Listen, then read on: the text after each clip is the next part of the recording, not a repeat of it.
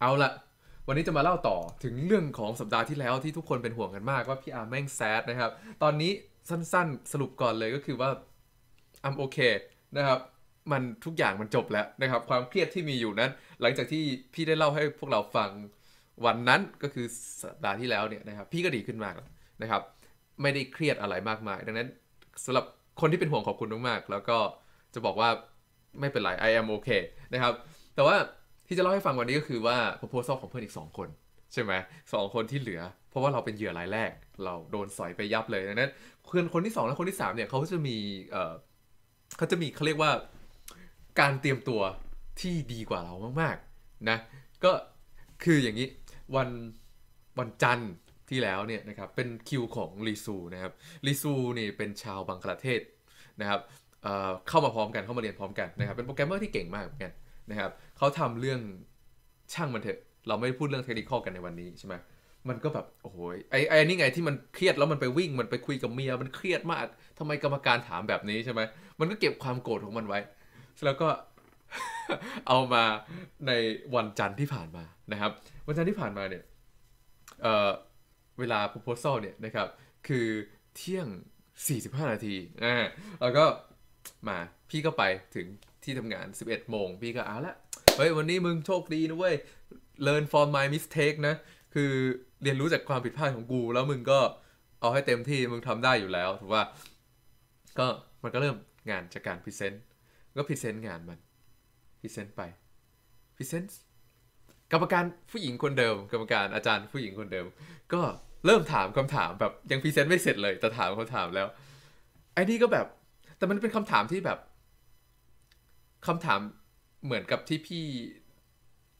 อันที่พี่ตอบไม่ได้คือแบบ มันเป็นคำถามง่าย ๆ ที่ที่อาจารย์แกไม่เข้าใจ แล้วมันฟังดูเหมือนว่าเป็นเรื่องเบสิกมากๆสำหรับคนทำงาน แต่ว่าอาจารย์ไม่ทราบ ก็เลยถาม แล้วพอพอถามมาที่มันเบสิกเกินไปเนี่ยไอคนที่ทำงานตรงนั้นมาตลอด 5 ปีเนี่ยเขาก็คิดว่าแบบทุกคนไม่ควรจะรู้อยู่แล้ว มันก็จะแบบงง เออหมายความว่ายังไงอะ่ะ คือแต่ว่าไอ้นี่มันไม่เป๋เหมือนพี่ เพราะว่ามันไม่โดนกล่องดำใช่ไหมมันก็อาจารย์ถามเรื่องอะไรนะครับ อาจารย์อาจารย์ถามว่าอย่างนี้หรือเปล่าครับ อาจารย์ถามเรื่องอย่างนี้ใช่ไหมครับ หรือว่าอาจารย์ถามตรงไหนครับ วนอยู่เงี้ยวนวนอยู่เงี้ยอาจารย์ถามตรงไหนครับไม่ไม่ซักอาจารย์หรอกอาจารย์จะถามคำถามนี้หรือเปล่า หรือว่าจะเป็นคำถามนี้ หรือว่าจะเป็นคำถามนั้น เพื่อที่จะแบบว่า ตอบให้ถูกต้อง จนมันซักมันซักอาจารย์กลับแบบนี้จนกรรมการคนอื่นบอก you stop เดี๋ยวพรีเซนต์ you ให้จบก่อน แล้วค่อยกลับมาที่คำถามนี้ มันก็เลย มันก็เลยกลับไป มันก็เลยกลับไปพรีเซนต์ของมันต่อแล้วก็พรีเซนต์พรีเซนต์พรีเซนต์พรีเซนต์ใช่ไหมแต่พรีเซนต์ของมันงานดีคือมันมีตัวงาน backup แล้วงานมันก็มี user เอาไปใช้แล้วก็ตีพิมพ์คืองานมันมันโอเคอะนะ มันก็พรีเซนต์จนเสร็จปั๊บ ก็ถึงช่วงตอบคำถาม ตอบคำถาม ไอ้เพื่อนอาจารย์ถามว่างานของคุณเนี่ย ผู้หญิงคนเดิมอาจารย์ผู้หญิงคนเดิม งานของคุณเนี่ย มันที่คุณโชว์มาเนี่ย มันดูแล้ว โอ้ ขอบคุณสำหรับ subscriber ครับยานาคารนะครับ อคติกล่องดำอาจารย์ติดคู่ดาว ขอบคุณรีซับเจ็ดเดือนตัดขอบติคุดณมากๆล่องดำอาจารย์ติดครูดาวอยู่กล้องดำนะล่องดำ เอาเอาติดกล่องดำอาจารย์ติดครูดาวเออโอเค ขอบคุณสำหรับซับนะครับ เออเล่าต่อ อาจารย์ผู้หญิงคนนี้ถามว่า ไองานของคุณเนี่ย เดี๋ยวนะ พี่จะ งานของคุณเนี่ยมันใช้ได้กับกรณีกรณีนี้เท่านั้นที่คุณโชว์ในในสไลด์ของคุณเนี่ย มันใช้ได้แค่กับกรณี นี้เท่านั้นมันใช้กับกรณีอื่นได้ไหมกรณีที่มันเป็นถ้าเกิดว่าแอปพลิเคชันมันไม่ได้ใช้ linear algebra มันใช้อย่างอื่นได้ไหมอันนี้ก็แบบเอ่ออันนี้ก็แบบได้เลยครับ ไม่มีปัญหาอะไรแต่ว่าที่เอาไออันนี้มาโชว์เพราะว่ามันเป็นอะไรที่ เขาเรียกว่าอะไรเป็น worst case scenario เอา worst case มาโชว์ ถ้าเกิดว่า worst case ทำได้ เคส ปกติทั่วไปจิ๊บจ้อยก็ทำได้ อาจารย์ก็บอก อ้าว คุณอย่างนี้พูดอย่างนี้มันไม่มีพูฟนี่หว่าทำไมคุณไม่พูฟเอามามามามาใส่ในสไลด์ไอ้นี่ไอันนี้ตอบกลับไปว่ารีซูตอบกลับไปว่า อาจารย์ครับ อย่างที่เห็นอยู่และอย่างจากที่เห็นจากจากที่อาจารย์คอมเมนต์ใน proposal ที่ผ่านมา งาน engineering ไม่ได้เห็นอาจารย์ไม่เห็นคุณค่าของงาน engineering ถ้าเกิดว่าผมจะต้องไปทำไปพอร์ตแอปพลิเคชันอื่นมา มันก็แค่เป็นผมจะต้องเสียเวลาอีกหนึ่งเดือน เพื่อจะไปทำงาน engineering ซึ่งไม่ได้มีผลอะไรกับ PhD ของผม พี่แม่งนั่งฟัง ใน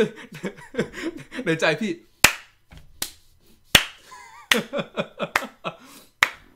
ทุกคนในห้องเพิ่งแบบหันมามองหน้ากันแบบ เอาแล้วเอาแล้วเอาแล้วเอาแล้วเอาแล้วเอาแล้ว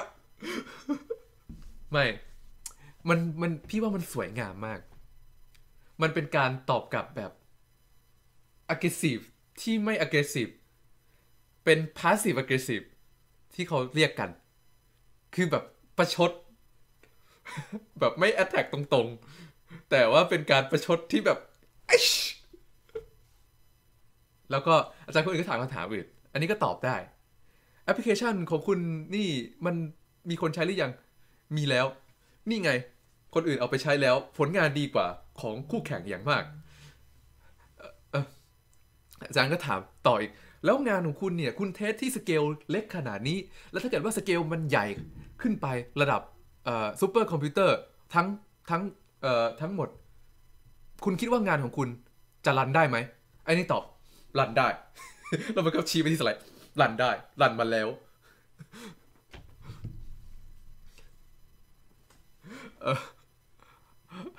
คือแม่งแบบ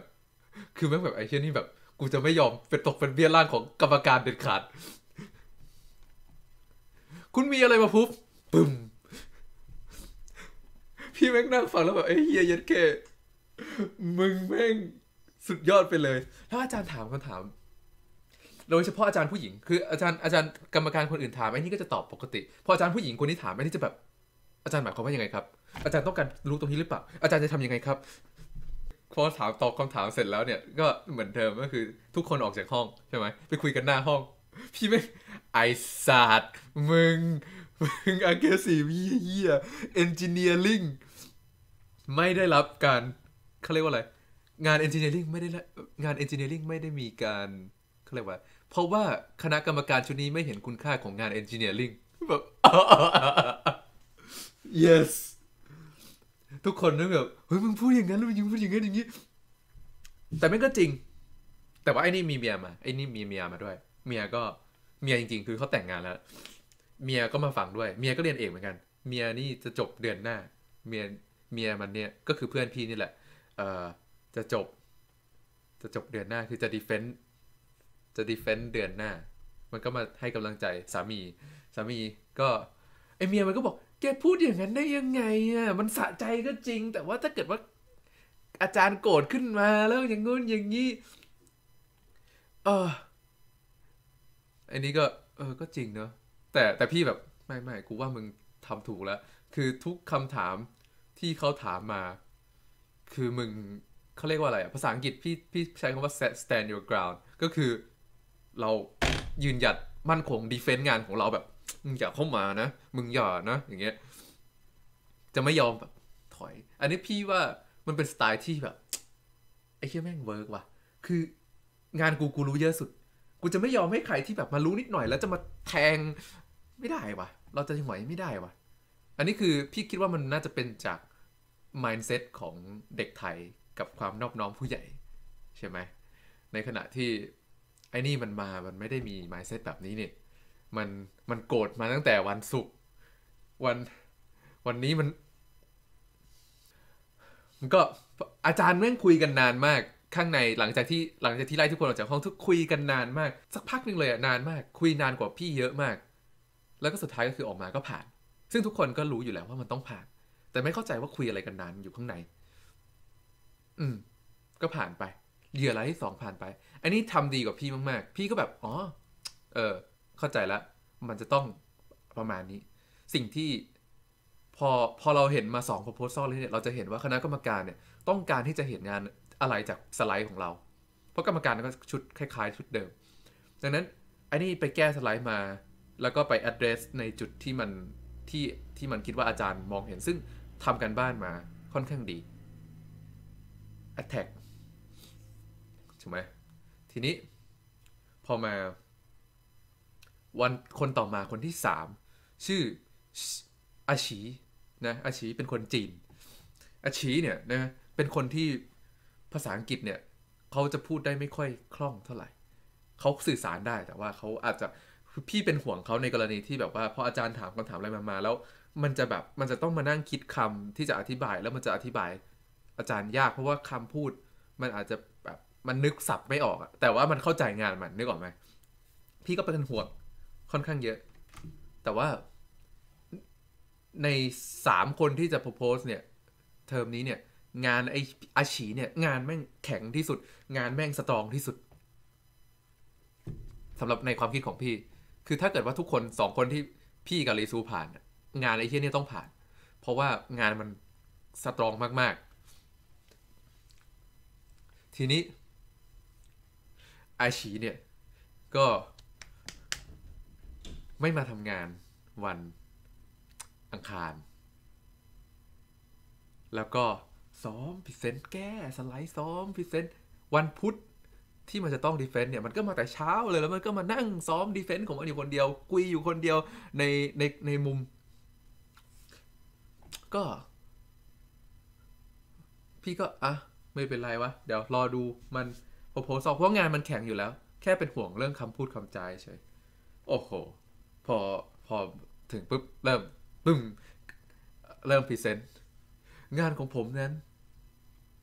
นี่จุดที่ผมจะทำก็คือ 1 2 3 4 นะครับ เรามาลองดูงานที่มันมีอยู่ในตลาดตอนนี้ดีกว่า งานในตลาดตอนนี้ใช้วิธีนี้ ปัญหาของงานนี้ก็คือ 1 2 3 4 แต่ว่ามันก็จะมีอีกเปเปอร์หนึ่งที่ เขาแก้ปัญหานี้ขึ้นมา โดยการทำแบบนี้ 1 2 3 4 ปัญหานี้ช่วยการอะไร implementation แบบนี้เนี่ยจะแก้ปัญหานี้แต่ว่าแก้ได้นิดหน่อยเท่านั้น แต่ดีขึ้นมากว่าแบบแรก แล้วก็ผมขอเสนอ งานที่ 3 ก็คืองานของผม เรามีปัญหาอยู่ผมงานนี้ผม address ปัญหาทั้งสองปัญหานี้แบบเต็มรูปแบบจากการทำแบบนี้ 1 2 3 4 โดยที่ มีผลลัพธ์ออกมาชัดเจนมากๆ ตึกตึกตึงตึงตึงกูนั่งฟังแล้วแบบเย็ดเค นอกจากนั้นยังไม่พอครับ จากเปเปอร์1 2 3 4มีคนเคยลองทำพยายามแบบนี้แล้ว แล้วผมก็ยังคิดว่ามันสามารถพัฒนาต่อได้อีก ผมเลยเอางานของเปเปอร์1 2 3 4มารวมกัน แล้วก็กลายเป็นงานนี้ขึ้นมา เมื่องานนี้ดีขึ้นมาแล้ว เอาไปรวมกับงานแรก กลายเป็นงานระดับพระเจ้า ไม่เป็นงานระดับพระเจ้าจริงๆเว้ยคือแบบ งานงานมันแข็งที่สุดพี่รู้อยู่แล้ว แต่แบบมันพิเศษออกมาแบบนี้แบบ งานนี้แล้วก็แล้วผมก็ได้ทดทำการทดสอบโดยการใช้นี่นี่นี่นี่นี่แล้วก็งานของผมดีที่สุดเร็วกว่าทุกอย่างสามเท่า แล้วมันก็ยิ้มอย่างเงี้ย แล้วคำถามที่อาจารย์ถามก็แบบอาจารย์ถามคำถามง่ายมาก คือถามแบบ เอ๊ะแล้วไออันนี้ generate noise ยังไง อันนี้อ๋อผม generate noise แบบนี้ครับ อ๋ออ๋ออืมอืมอืมเอ๊ะแล้วอันนี้คำถามแบบง่ายมาก จนแบบเฮียแม่ง จนจนจนจนพรีเซนต์จบคือ ไม่มีคำถาม ไม่มีคำถามเลย คือ คือแบบ ทุกคนทุกคน convince ทุกคนมั่นใจว่า เออเนี่ยงานนี้แม่งดีจริง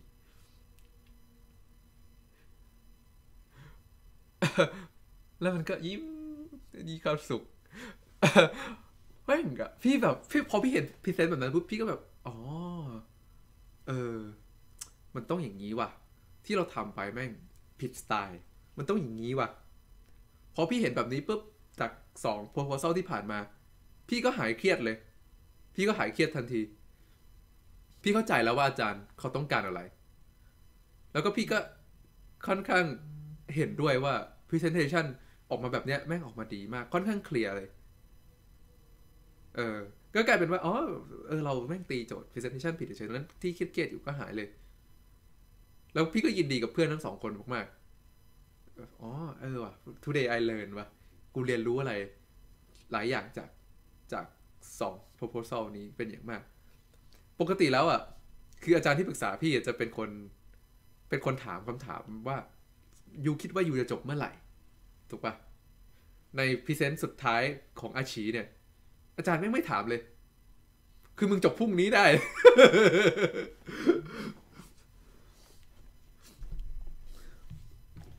คือแม่งคือพอเราฟังปุ๊บเออว่ะ ถ้าเกิดว่าเราลองมาตัดสินกันแฟร์ว่า ถ้าเกิดว่ามีงาน proposal สามงานพรีเซนต์แบบหนึ่งสองสามแบบพี่แบบเรซูแบบอาชี พี่ก็คิดว่าของพี่แม่งแย่ที่สุด ถูกต้องแล้วนั้นมันแฟร์พี่ว่าทุกอย่างแม่งที่เกิดขึ้นแม่งแฟร์ก็เลย ก็เลยโอเค ก็เลยโอเค ทีนี้ หลายคนถามว่า ไม่ไม่นะ พี่ยังไม่จบนะ นี่คือ proposal นะ มันมีสองมันมีสองรอบคือ proposal กับ defense ใช่ไหมคือทุกถามคนเนี่ยทำ proposal แล้วเดี๋ยวเดี๋ยวต้องมี defense อีกรอบหนึ่ง defense รอบนี้จะเป็น defense แบบ อาจจะต้องหนึ่งชั่วโมงสองชั่วโมงว่าไป defense งานของเรา อีกรอบหนึ่ง แต่ว่าเอ่อหลายคนถามว่า เอ๊ะแล้วพี่ไปคุยกับอาจารย์ไหมยัง พอพี่เห็นอย่างนี้แล้วพี่ไม่ต้องคุยกับอาจารย์ละพี่รู้สึกว่าอ๋อพี่เข้าใจแล้วพี่เขาพี่เข้าใจว่าอาจารย์ต้องการอย่างไร พี่เข้าใจพอมองย้อนกลับไปแล้วจริงๆแล้วมันอ๋อเออมันนิดๆหน่อยๆพี่ก็เลยไปถามคุยกับคุยกับคนในแลบว่า เนี่ย you คิดว่า I ควรจะไปคุยกับอาจารย์ไหมอ่าไอคนในแลบก็หันมา อันนี้ ด็อกเตอร์ด็อกเตอร์แอนโทนีด็อกเตอร์แอนโทนีหันมาบอกว่า จะไปคุยทำไม ไปคุยแล้วเดี๋ยวมึงก็ได้งานเพิ่ม ไม่จบไม่สิ้นเอ่อสุดท้ายแล้วคำถามคือ มึงได้ลายเซ็นมาหรือยังบอกได้แล้ว แค่นั้นแหละ มึงต้องการแค่นั้นแหละลายเซ็นเข้าเข้าใจไหมคณะกรรมการไม่มีใครสนใจงานมึงหรอกเขามีเขาต้องไปทำอย่างอื่นเยอะแยะ ที่เขา give you shit ก็ give you shit ก็คือแบบ ที่เขาเขาเรียกว่าอะไรวะที่เขาปิ้งอยู่อะที่เขามานั่งปิ้งแก ก็เพราะว่าเป็นหน้าที่ของเขาที่เขาต้องปิ้ง ถามว่าเขาสนใจไหมไม่อะอีกหกเดือนหลังจากเนี้ยมึงคิดว่าเขาจะจำได้ไหมว่างานที่มึงทำมาทำอะไร ไม่ได้หรอก มึงก็ต้องมานั่งพรีเซนต์อย่างนี้หรอกมึงพรีเซนต์แบบเดิมก็ได้ เขาก็จะปิ้งเหมือนเดิมเนี่ยเป็นหน้าที่เขาอ้าวแต่ว่าเขาต้องให้เราผ่านไม่ผ่านไอ ดร.แอนโทนีก็เลยบอกว่า เนี่ย มึงคิดว่าที่ปรึกษามึงอะให้มึงส่งมึงขึ้นไปยืนบนเวที เพื่อที่จะไปเซ็นงานมึงอะมึงคิดว่าถ้าเกิดว่าที่ปรึกษาคิดว่ามึงไม่ไม่ผ่านอะเขาจะส่งมึงขึ้นไปไหมเรื่องอะไรเขาจะส่งมึงขึ้นไป มันน่าอายรู้ไหมเวลาทำงานแย่ๆหมายความว่าหมายความว่าไง ถ้าเกิดว่าที่ปรึกษาอยู่อะไม่ได้มาพูดอะไรกับยูเลยสักคำหลังจากที่ยูโพสต์ไปแล้ว ก็หมายความว่าสิ่งที่ยูทำอยู่อะมันโอเคแล้วเขาเชื่ออย่างนั้น ถ้าเกิดว่ายูทำให้เขา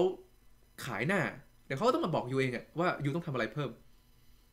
อันนี้เขาไม่ได้พูดอะไรกับยูเลยยูจะแคร์ทำไมลายเซ็นได้มาแล้วคำถามต่อไปก็คือยูรู้ไหมว่า คนที่ไปขึ้นไปดีเฟนต์เอ่อ PhD อะมีเปอร์เซ็นต์ไม่ผ่านกี่เปอร์เซ็นต์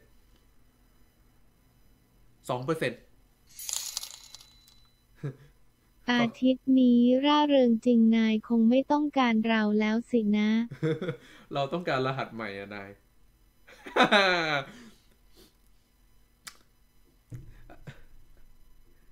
จะบอกว่าเออพอ defense proposal มีไม่ผ่านสองเปอร์เซ็นต์ยูคิดว่าไม่ผ่านสองเปอร์เซ็นต์เพราะอะไร เพราะว่าจริง ๆ แล้วไม่ใช่เรื่องของการ presentation เปอร์เซ็นต์สองเปอร์เซ็นต์ที่ไม่ผ่านคือมันไม่ได้ทำ ทีสิทธิ์เป็นรูปเล่ม มึงส่งรูปเล่มไม่ทัน defense มึงคิดว่ามึงไป defense มึงจะผ่านไหม ก็ไม่ผ่าน สุดท้ายก็คือผ่านอยู่ดีตอนมึงส่งรูปเล่ม คือไม่ผ่านอยู่แล้ว มึงอย่าไปเครียด มึงจะโดนด่าอะไรก็ช่าง มึงได้ลายเซ็นจบ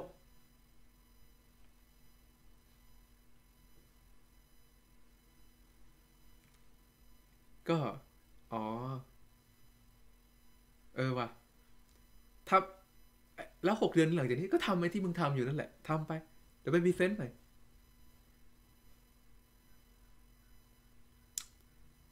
โอเค ก็เป็นอันจบสตอรี่เรื่องของ proposal ก็เป็นอันว่าพี่เข้าใจอาจารย์ อย่างน้อยมันเคลียร์สำหรับพี่แล้วว่าอาจารย์เขาอยากรู้อะไรดังนั้นพี่ก็เลยเข้าใจว่าเขาถามอย่างนั้นทำไม พี่ก็เลย ไม่ติดใจอะไรแล้วพี่ก็เลยแฮปปี้อืม